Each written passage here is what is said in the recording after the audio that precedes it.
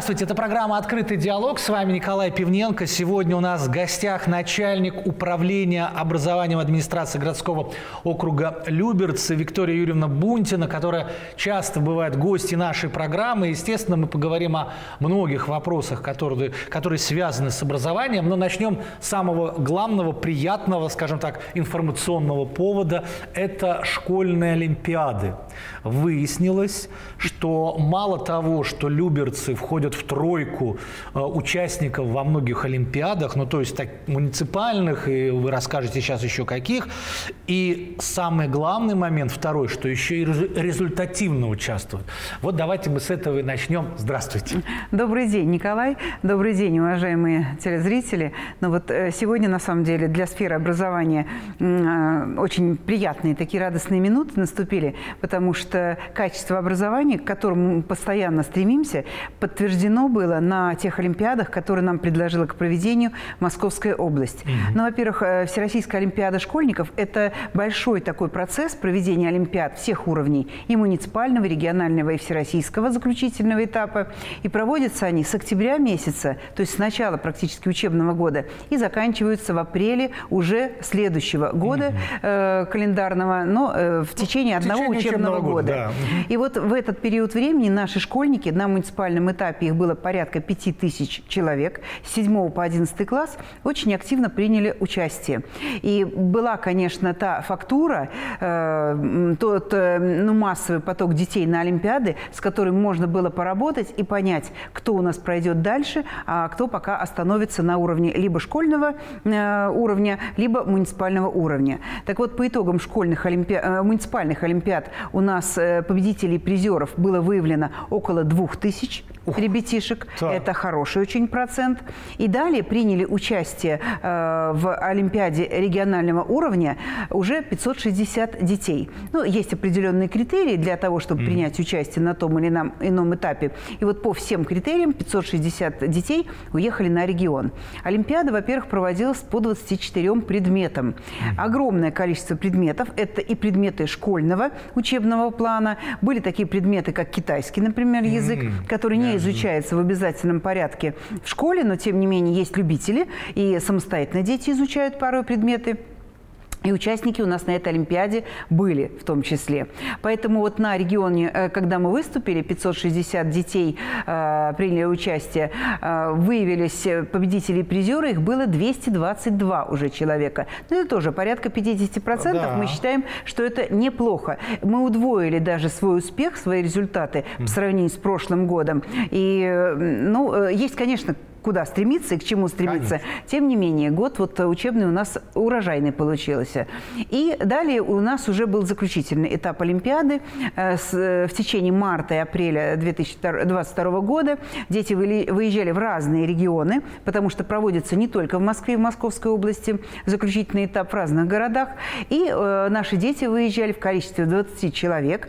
Это были команды по технологии, по предмету, угу. который изучается в школе, по физической культуре, по истории истории, э, по китайскому языку. И э, из 20 э, человек 16 стали победителями-призерами. Победителей 5 человек и 11 призеров. Угу. Конечно, мы вот эту копилку наших достижений очень хорошо пополнили в этом году. Дети рады, потому что есть и определенный материальный стимул в соответствии с постановлением губернатора Московской области детям, которые стали победителями, призерами в заключительном этапе Олимпиады, Олимпиады полагается очень приличное денежное вознаграждение, О. которое они получат по окончанию учебного года, ну, когда будет назначено распоряжение Министерства образования Московской области. Заработали собственным умом. Собственным умом заработали. И такой, конечно, вклад серьезный внесли в бюджет своей семьи, но, может быть, бюджет себя, э, конечно, в первую очередь впереди, потому что у детей поступление в вузы, многие из них, это 8 человек из 20,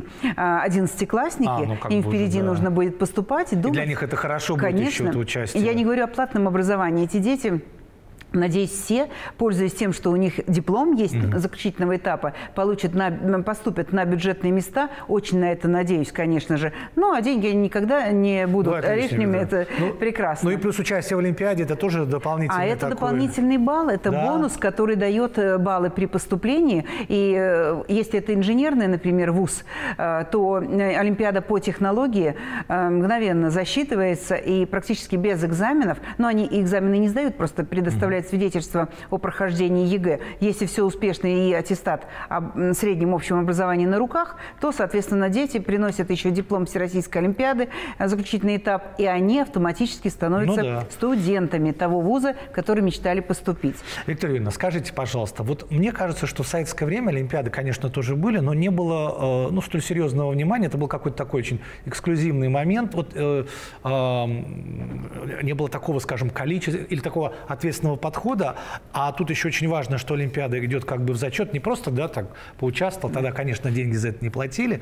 Вот. Но тем не менее, вот такое количество олимпиад, у некоторых скептиков возникает вопрос, уровень тех вопросов, которые там решаются, насколько они серьезны, кто занимается подготовкой этих э, вопросов, этих заданий, которые ставятся перед ребятами. Э, вопросы, конечно, включен, включенные в Олимпиаду, очень серьезные, mm-hmm. и они порой даже уровня первого, второго, третьего курсов каких-то профильных вузов. Mm-hmm. И если даже на едином государственном экзамене на профильном предмете встречаются достаточно сложные вопросы, вопросы, иногда даже не изучаемые в школьной программе, то на Олимпиаде вопросы, которые включены mm-hmm. в задание, точно отсутствуют в школьной программе. И если ребенок не будет изучать этот предмет очень углубленно и э, с пониманием, с погружением полностью в науку, он не достигнет таких результатов. А потом, например, если мы возьмем Олимпиаду по физической культуре, mm-hmm. у нас тоже немало мест по этому предмету, или по технологии, то здесь Олимпиада проводится по двум уровням. И практика, и теория теория. Угу. Для того, чтобы выйти на первые места по физической культуре, сначала надо сдать теорию. А теория включает в себя все науки. И географию, и математику частично, и биологию. Угу. Э, и не ответив на эти вопросы... То не есть набрав... не каждый преподаватель, не мне каждый, кажется, знает конечно даже. же, да. А ага. А затем уже включается практика. Угу. Ну, в зависимости от вида спорта да, и так далее. Да, да, Или по технологии то же самое. Изготовление какого-то э, оборудования на 3D-принтере угу. и так далее. Это же расчеты, это черчение, это инженерный ум нужно включить. Очень э, тонкая такая работа, она э, на стыке нескольких сразу наук. И один человек, э, если мы говорим об учителе, о наставнике, он не подготовит э, своего ученика, потому что ему необходима помощь своих же коллег по другим предметам. И вот у нас в этом году получилось. Но получилось почему? Потому что мы систему вообще э, поддержки одаренных детей развиваем не первый год. Угу. На базе Центра развития образования у нас работает эта э, система, и учителя, которые выдающиеся, скажу, и победители национального проекта образования. Они работают с детьми, как я сказала уже, в командном таком духе. И мы привлекаем высшую школу. Э, это преподаватели Московского государственного университета к нам приезжают mm-hmm. сюда читать лекции. И, соответственно, позволяют нам по соглашению выезжать на э, субботы, которые э, ну, как раз для детей, десятиклассников, одиннадцатиклассников, которых тоже приучают к науке. Московский государственный областной университет с нами очень плотно работает. И когда вот уже эти связи у нас э, очень хорошо так э, зарекомендовались, себя, и мы поняли, э, каким образом нужно готовить, как я сказала, не одному наставнику это под силу, а именно командой, то у нас вот получился такой результат. И сегодня дети уже они награждены, скажем так, мы их чествовали буквально на днях. А, глава нашего округа Владимир Петрович Ружицкий встречался с детьми. Дети задавали очень интересные вопросы. В свободной форме было угу. такое общение. И, конечно, они умные вопросы задавали с перспективой на будущее, потому что дети, конечно, современные, мыслящие по-иному. И э, ну, очень интересный состоялся диалог. Угу. Владимир Петрович их э, всех э, наградил стипендией главы городского округа. Уже вручены были сертификаты и благодарственные письма также в их адрес были также направлены. Приятно было наблюдать на такую интеллектуальную угу. молодежь. Причем дети были, как я сказала, с седьмого класса, ну, достаточно такие еще юные, и по одиннадцатый класс. Но о чем я особо особо хочу сказать, мы вот встречались на базе э, гимназии 16 «Интерес». Это у нас школа-флагман на сегодняшний день. И по многим вопросам она впереди э, занимает очень даже приличные места по многим конкурсам э, достижения на лицо. И в данном случае 10 э, ребятишек из 16 гимназий, из 20, угу. стали победителями-призерами. Поэтому мы решили на их базе э, провести такое мероприятие. И благодаря, в том числе, усилиям 16 гимназии, кроме этого, выступили прекрасно э, школа 8, э, школа 10, 20, 21 школа, 41 гимназия, 44 гимназия, кроме 16 вот эти учреждения э, внесли свой посильный вклад э, в развитие в целом системы образования. И сегодня мы оказались на третьей ступеньке э, среди муниципалитетов Московской области, их 60, угу. на третьей строке после гимназии Примаковой, после первое место занимает физтех лицей Долгопрудного по количеству победителей и призеров, угу. исходя из того процентного соотношения, сколько было участников у нас на заключительном этапе Олимпиады. Да, говоря спортивным языку, языком, круто, да? Ну да, да, мы оцениваем именно так. А, я вот еще хотел такой момент. А, понятно, что ребята, вот им такое внимание, они, конечно же, молодцы.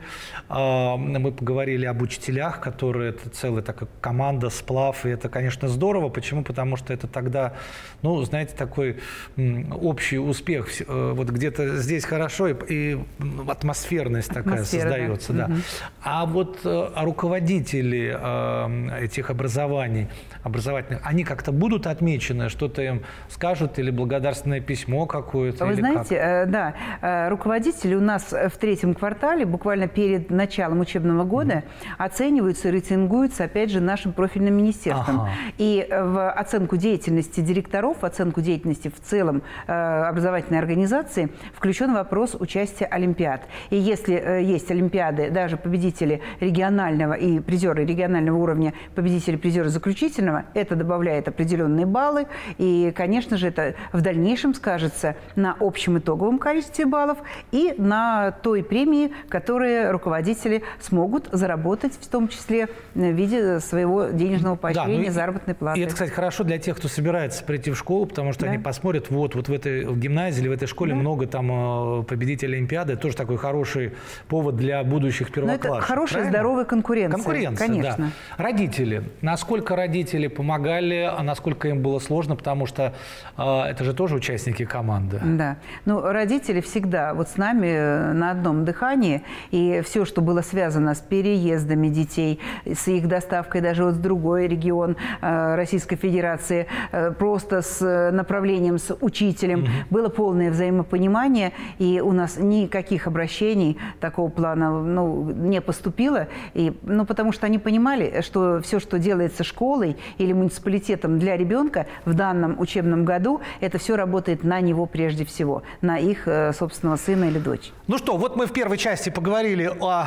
люберцах с точки зрения э, тройки призеров, скажем так, муниципалитетов Московской области, которые отличились в школьных олимпиадах, с чем мы поздравляем и вас, Виктория Юрьевна, потому что вы Спасибо. руководите всем этим процессом. Ну а во второй части я не могу не поговорить, все-таки мы движемся уже к финалу учебного года, потом будет лето, это вечная тоже проблема, как детей занять. Ну и, наконец, 1 сентября совсем не за горами, поэтому во второй части поговорим о последних, скажем так, новостях Хорошо. А, вашего ведомства. Это программа «Открытый диалог». У нас в студии начальник управления образованием администрации городского округа Люберцы Виктория Юрьевна Бунтина.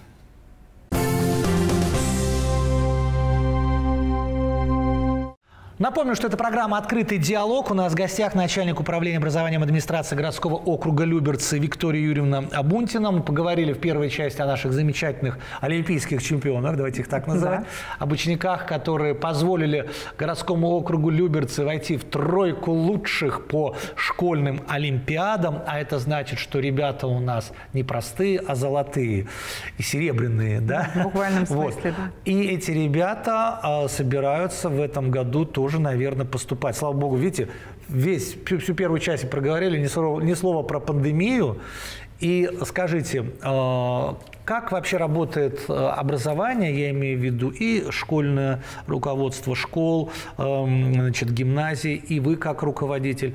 Вы как-то просчитываете, сколько детей будет поступать, как-то подталкиваете их, как этот процесс происходит? Ну, 11 класс или 10 даже классы – это тот уровень образования, который уже нацеливает ребенка на поступление в ВУЗ. Угу. А, потому что, окончив 9 классов, конечно, нужно выбирать либо колледж, а, либо учебное заведение с профессиональными навыками и дальше уже идти трудиться.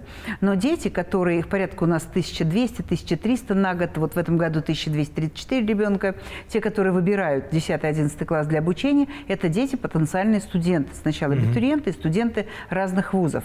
А статистика из года в год, конечно же, у нас ведется, и, как правило, процентов 68 у нас детей из выпускников 11 классов – это успешно поступившие вузы на бюджетные причем места. Остальные дети у нас поступают либо на внебюджет, либо по семейным обстоятельствам меняется у них траектория движения по жизни, так тоже ну, бывает. Но тем не менее порядка 70% уходят в вузы. Вузы причем самые разные. Вот да, интересно. Какие. Да, и вот у нас на протяжении уже нескольких лет формируется в каждом учреждении э, система э, такого профильного образования, э, где э, детям подсказывают, как бы, угу. в какой э, лучше вуз нацелить себя и с кем какие договорные отношения, э, соглашения соглашения заключены с какими вузами. И дети не обязательно обучают, например, проживая в одном микрорайоне, обучаются по месту проживания. Они разъезжаются по всему городскому округу угу. Люберцы. Потому что открыть на базе одного учреждения два или три профиля не представляется возможным. В основном это один, но максимум два профиля. Mm-hmm. У нас есть разные. И медицинские профили, и социально-экономические, и инженерный есть профиль, математический, физико-математический. Все возможные интересы детей, запросы родителей в том числе, они учтены. И поэтому э, проблем с выбором вуза как такового, не, э, как таковой не возникает. Дети поступают у нас и в технические вузы, ведущие вузы mm-hmm. Москвы. Э, подмосковные вузы поступают не очень много. В основном основном выбирают для себя Московский государственный областной университет, который расположен в Москве на улице Радио, mm-hmm. очень много разных факультетов. И большое количество детей в этот вуз идут на педагогические специальности. Для нас это тоже важно. Ну, да, это частично, же ваше будущее, Частично мы да, оформляем даже целевые направления ага. для этих детей. Целевые направления оформляются и для медицинских вузов на медицинские специальности, в таможенную академию. Ну, тоже да, кстати, очень многие да. поступают. В Государственный университет управления э, дети идут на разные факультеты. Э, Российская академия э, коммунального хозяйства и строительства тоже на эти специальности, а, которые а, предлагают А когда у вас ЖКХ. Э, появляется вот уже справка, я так понимаю, где-то в октябре? Она появляется примерно? в сентябре. сентябре. Где-то во второй декаде, в третьей декаде mm-hmm. сентября есть полное понимание по приказам, кто зачислен на какие факультеты, в какие mm-hmm. вузы. И уже к 1 октября у нас полная выкладка есть по каждому учреждению, по каждому ребенку. Ну вот я помню, что в моей жизни огромную роль сыграл сыграл в выборе э, так неожиданно, собственно говоря. Я хотел идти по гуманитарной линии, я все-таки потом пошел. А у нас был учитель по физике, просто учитель по физике, не директор, не завуч. Он говорит, что должен идти на физтех. Ну, я и пошел.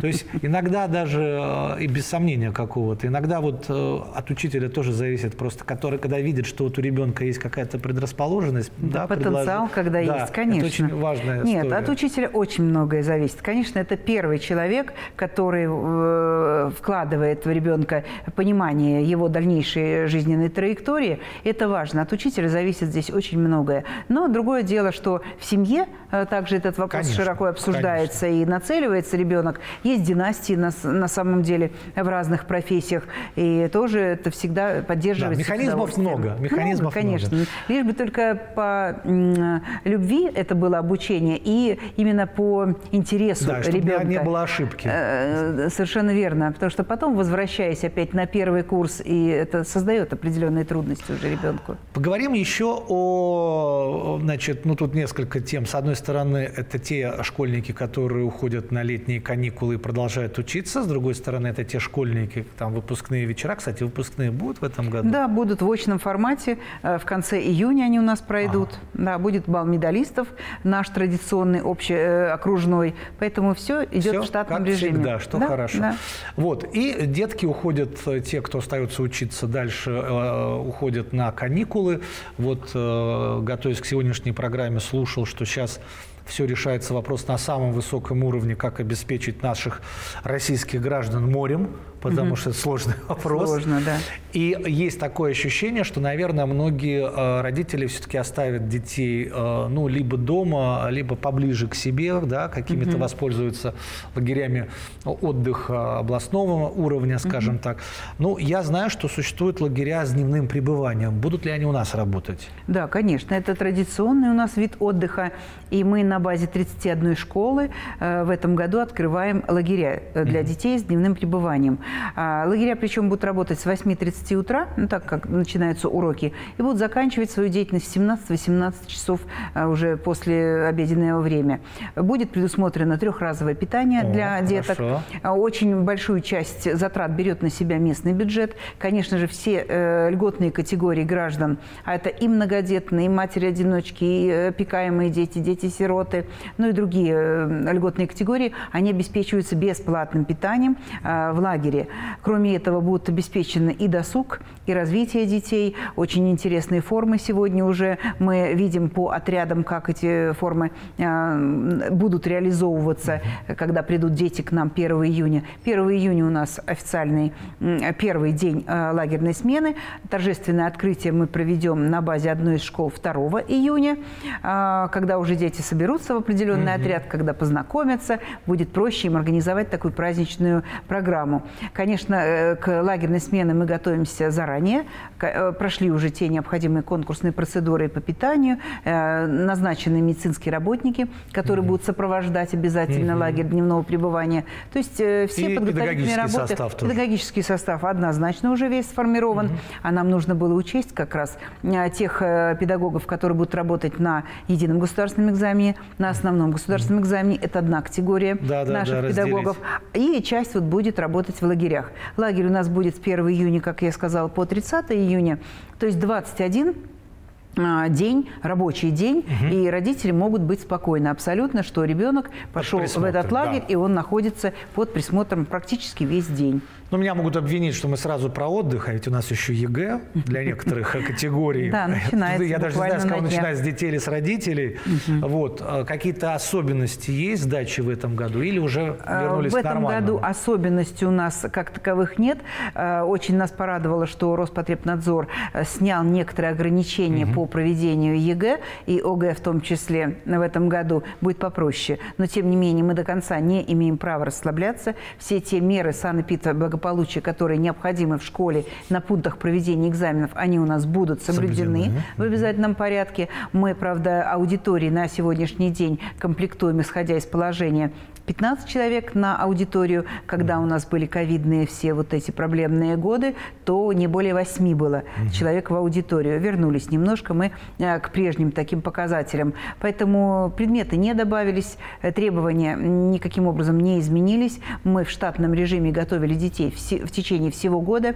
Работали психологи в обязательном порядке, проводились тестирования с детьми, ну, как на предмет выбора профессии, так и на предмет спокойного э, прохождения проведения государственной итоговой аттестации. Это волнительный момент. Да. И вот в купе вместе с психологом работали классные руководители и работали учителя-предметники, потому что мы должны были детям предложить и демо-версии экзаменов, провести пробные экзамены. И уже э, на сегодня все дети, которые пойдут на экзамены, они допущены через итоговое собеседование или итоговое сочинение в 11 классе. Поэтому все необходимые меры уже на сегодняшний день и требования выполнены. На на днях у нас стартует государственная итоговая аттестация. В девятых классах она уже началась, угу. а в одиннадцатых классах с 26 числа, угу. с 26 мая будет, э, будут проведены первые экзамены.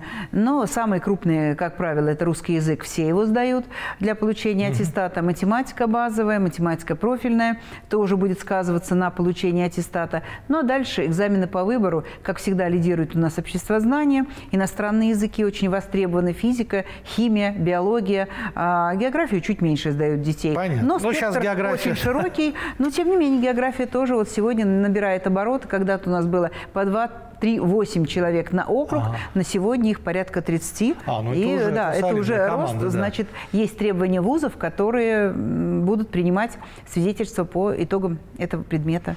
Ну что ж, пройдет ЕГЭ, вот эти все переживания. Затем часть детей отдохнет в лагерях с дневным пребыванием. Трудно запомнить мне это правильное название.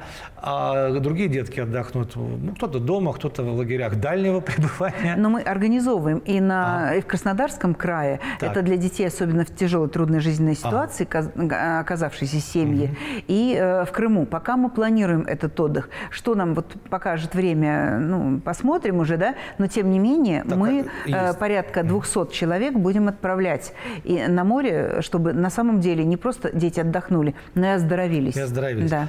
А потом приходит, как всегда, внезапно 1 сентября. Да. Внезапно для э, и родителей, для учеников и так далее. Что ожидается в этом году открывается, появляется. Да, я еще вот э, добавить хотела а. бы, потому что, наверное, будет интересно, в рамках летнего отдыха у нас на базе гимназии, гимназии 16 интерес будет работать так называемая пятая четверть «Умные каникулы». Угу. И дети со второго по десятый класс, исключая девятиклассников, одиннадцатиклассников, ну, порядка 70-80% от контингента, угу. будут на базе этой школы как отдыхать, оздоравливаться, так и погружаться в науки, в самые различные. А. Школы школа выиграла грант – денежный на то, чтобы детей там можно было бы и накормить, и, соответственно, обучить, и отдохнуть вместе с э, педагогами. То есть вот такое новшество у нас в этом ага, году, э, после, по итогам этого года, будет работать на территории. А что касается 1 сентября и 22-23 учебного года, то новостроек школ мы не сдаем. В прошлом году у нас было три крупные новостройки, но мы после капитального ремонта получаем новые современные здания гимназии номер один и школы номер шесть, инженерная школа, которые расположены обе на Октябрьском проспекте. Это самые возрастные наши учреждения. Они давно требовали капитального ремонта. На сегодня все ремонты ведутся. Они ведутся в графике. А, контроль за ними осуществляется за этими работами очень серьезный. И мы к 24 августа текущего года должны получить уже вот эти обновленные здания. И кроме обновленные этого, ключи. Да, да. И кроме этого в поселке Октябрьском угу. У нас ремонтируется детский сад также в капитальном таком формате. Детский сад номер 12. В Октябрьском нам не хватает дошкольных учреждений. Там, по сути, один детский сад из трех корпусов состоящих, угу. а население достаточно серьезно растет. И вот э, те 280 мест, которые мы планируем ввести после капитального ремонта, также будет очень хорошим подспорьем и выручит население. И, конечно же, облегчит э, нагрузку на систему образования округа. Виктория Юрьевна, ну я так понимаю, что лет лето будет э, жарким, а да. вот там уже ближе к осени или осенью мы вновь вас с радостью пригласим, узнаем заодно, сколько поступило Итоги куда. Года, да, да, может быть, что-то изменится в нашем образовании. У нас всегда много новых направлений. Вам огромное спасибо. Вот. Я уж не знаю, поздравляют ли э, майже у нас э, период последних звонков, затем период выпускных веч вечеров. Пройти вам с коллегами этот путь легко, непринужденно, отправить спасибо. ребят на отдых и вот 1 сентября получить ключи от, обновленной, от обновленных школ. А, Виктория Юрьевна Бунтина, начальник управления образования администрации городского округа Люберцы, была гостем нашей программы. Это был Николай Пивненко в программе «Открытый диалог». До свидания.